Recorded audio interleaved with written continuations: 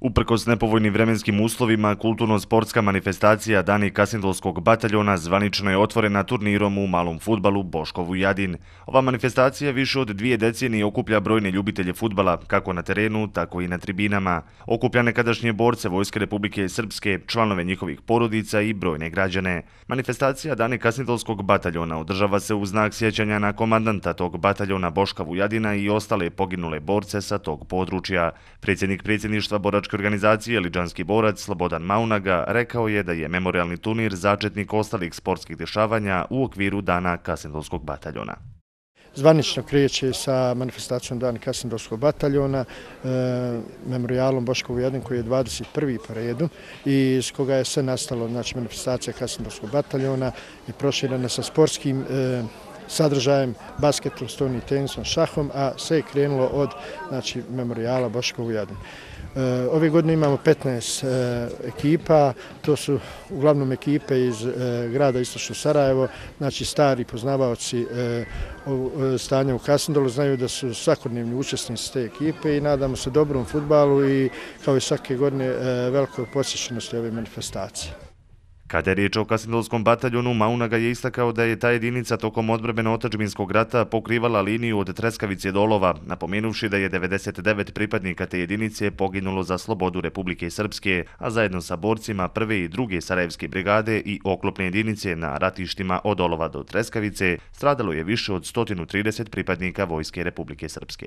Na ovom terenu su se postrojili u aprilu mjesecu 1992. godine. E, za vrijeme ratnih dejstova pokrivali su e, liniju od e, Treskavice do Olova.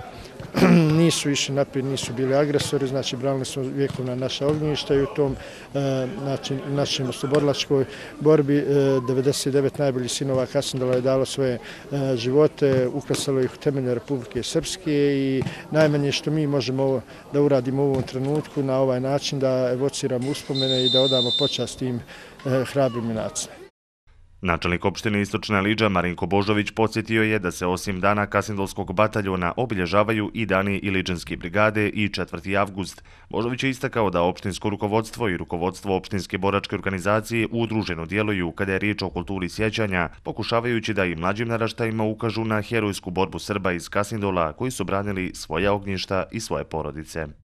Opštinska boračka organizacija Liđanski borac je organizacija od opšteg interesa za opštinu Istočna Liđa koja svake godine kroz tri manifestacije, evo danas ovdje u Kasindolu obilježava dane Kasindolskog bataljona, pored toga obilježavaju se dani Liđanske brigade, odnosno 4. august.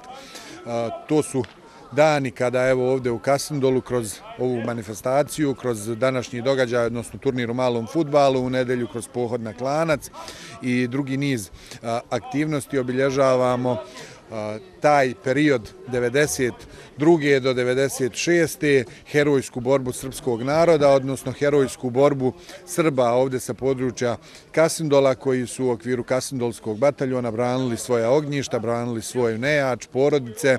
To je prilika da se sjetimo svih poginulih boraca i da evo 20 i nešto godina za redom opština Istočna Iliđa kao generalni pokrovitelj, sponsor ove manifestacije pomogne sjećanje na ove borce, jednostavno da sve ono što se radilo u tom periodu rata se istakne na pravi način, da ono što su naši očevi i svi oni koji su za stvaranje Republike Srpske dali svoje živote, svoje dijelove tijela, svoje zdravlje ne budu zaboravljeni i naravno da se prava istina o herojskoj borbi Sarajevskih Srba, o cijeni koju su Sarajevski Srbi dali za stvaranje Republike Srpske nikad ne zaboravi.